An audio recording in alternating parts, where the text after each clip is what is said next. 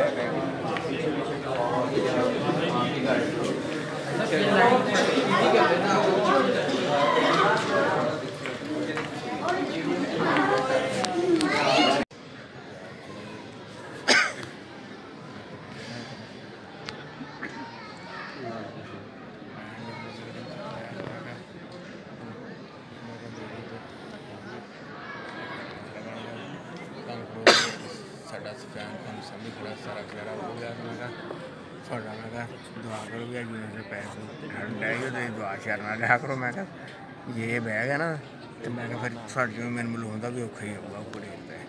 ਮੈਂ ਕਿਹਾ ਦੁਆ ਲਗੇ ਚਾਰੇ ਨਾਲ ਮੈਂ ਕਿਹਾ ਜਾ ਕੇ ਤੇ ਦੁਆ ਲੈ ਕੇ ਆਇਆ ਕਰ। ਹਾਂਜੀ। ਹਦੈਸ ਸਾਹਿਬ ਇਹ ਵੀਡੀਓ ਭਰ ਹੋਣ ਡਈ ਆ ਤੇ ਇਨਸ਼ਾਅੱਲਾ ਚੈਨਲ ਤੇ ਚੜੂਗੀ ਕਿਹੜਾ ਚੈਨਲ ਆ YouTube ਦਾ? ਮੈਂ ਦੱਸ ਦਿੰਦਾ। ਯੂਨਸ ਯੂਨਸ ਫਾਰਮ। ਯੂਨਸ ਫਾਰਮ। ਕੀ ਲਿਖ ਕੇ ਸਰਚ ਕਰੀਏ YouTube ਤੇ ਫੇ ਆਊਗਾ ਯੂਨਸ ਫਾਰਮ ਲਿਖੂੰਗਾ ਤਾਂ